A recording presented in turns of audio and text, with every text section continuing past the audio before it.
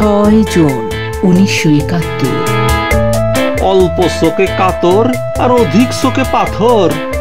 সেনাপতি আহিয়া এখন পরায় পাথর হয়ে গেছেন। আজকাল কারও সাথে বিশেষ বাতচিত পর্যন্ত করছেন না। এখন বেচারার একেবারে ধান্দা লাগার অবস্থা। কোন দিক রেখে কোন দিক সামলায়।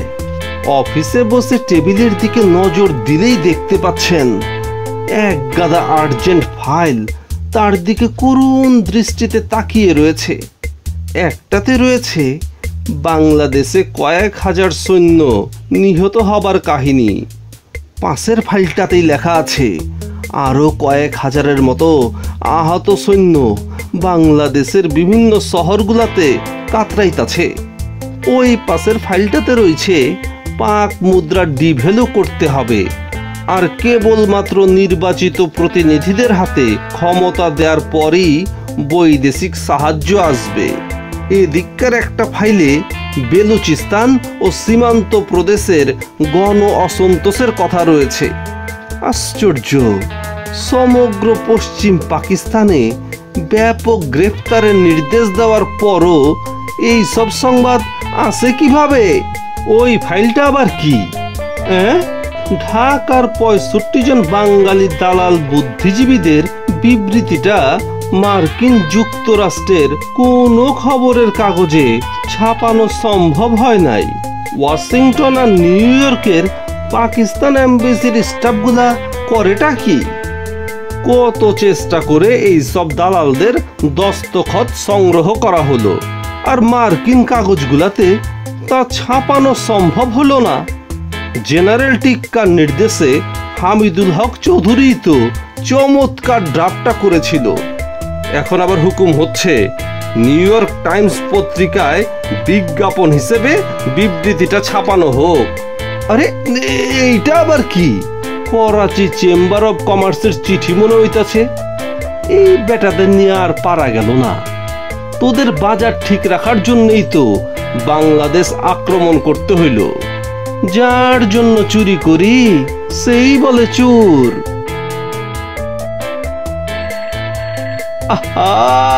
আবার অসময়ে টেলিফোন কেন? হ্যালো? হ্যাঁ কথা বলছি। কি বললে? জাতিসংঘের সেক্রেটারি জেনারেল বিবৃতি দিয়েছেন। বহু প্রচেষ্টার পরেও সেনাপতি ইয়াহিয়ার জঙ্গি সরকার, বাংলাদেশে হানাদার বাহিনীর নৃশংসতার কথা লুকিয়ে রাখতে পারেননি।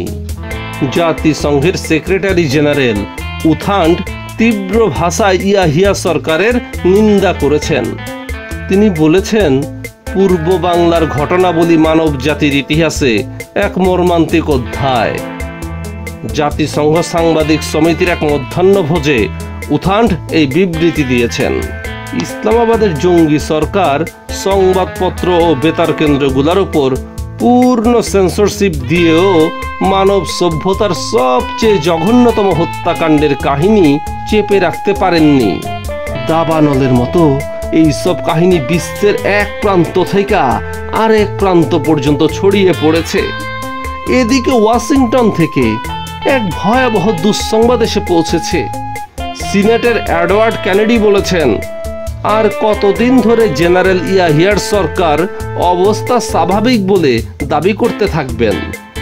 অথচ প্রতিদিনই হাজার হাজার বাঙালি শরণার্থী সীমান্তের ওপারে চলে যাচ্ছে।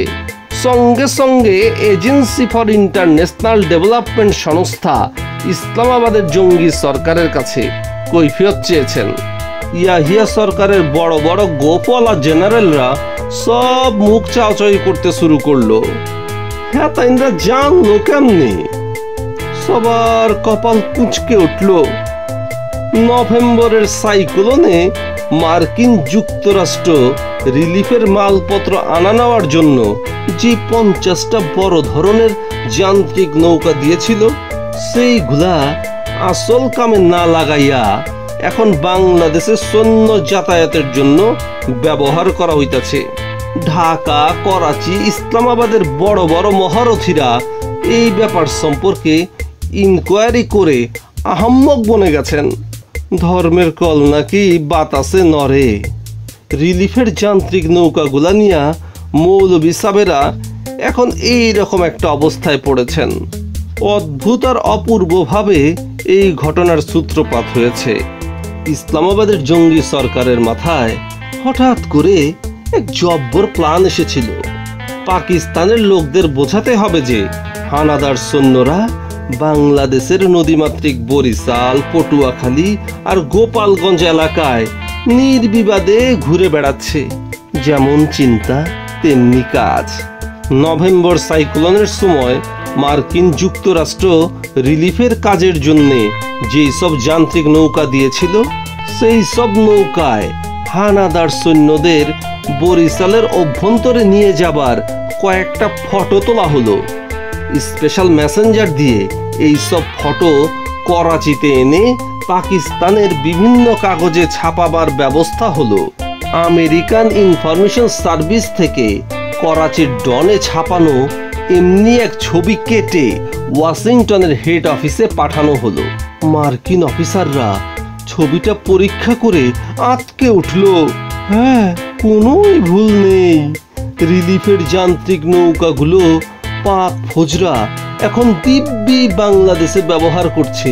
এখন উপায়, মার্কিন জনসাধারণের ট্যাক্সের টাকায় মানবতার খাতিরে রিলিফের জন্য এই সব যান্ত্রিক নৌকা দেয়া হয়েছিল।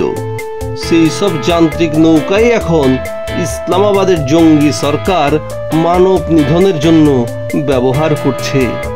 তাই মার্কিন সরকার সেনাপতি ইয়াহিয়ার পাচন্ড সরকারের কাছে এর তীব্র প্রতিবাদ জানিয়েছে। ইসলামাবাদের জঙ্গি সরকার ঘুণাক্ষরেও চিন্তা করেনি যে সামান্য একটা ফটোর জন্য তারা এতটা হেনস্থা হবে। আরে, ওই ধরনের বেআইনি ও বেইনসাফি কাজ তো হর হামেশাই করা হচ্ছে। এদিকে এশীয় ও প্রশান্ত মহাসাগরীয় সাব কমিটির চেয়ারম্যান মিস্টার কর্নওয়ালিস গ্যালাগার সেনাপতি ইয়াহিয়ার সরকারকে শাসিয়েছেন। তিনি বলেছেন, পঁচিশে মার্চ থেকে মার্কিন যুক্তরাষ্ট্র পাকিস্তানের সামরিক সাহায্য দেয়া সাসপেন্ড করেছে। কিন্তু অবিলম্বে পূর্ব বাংলায় বর্বর হত্যাকাণ্ড বন্ধ করে নির্বাচিত সদস্যদের হাতে ক্ষমতা হস্তান্তর করে শান্ত পরিবেশের সৃষ্টি না করলে কনসোর্টিয়ামের সদস্যভুক্ত সমস্ত দেশের ওপর চাপ সৃষ্টি করে ইসলামাবাদকে বেসামরিক সাহায্য প্রদান বন্ধের ব্যবস্থা করা হবে। কেননা, প্রথম দিকে আমরা ভেবেছিলাম এটা হচ্ছে পাকিস্তানের ঘরোয়া ব্যাপার। কিন্তু মানব ইতিহাসের জঘন্য হত্যাকাণ্ডের ফলে পঞ্চাশ লাখ শরণার্থী। দেশ ত্যাগ করায় এখন এটা পরিষ্কারভাবে একটা আন্তর্জাতিক ব্যাপারে পরিণত হয়েছে। পরিস্থিতির দ্রুত পরিবর্তন ঘটায় ইয়াহিয়ার চান্দি অক্ষরে গরম হয়েছে। তাই বলেছিলাম, অল্প চোখে কাতর আর অধিক চোখে পাথর।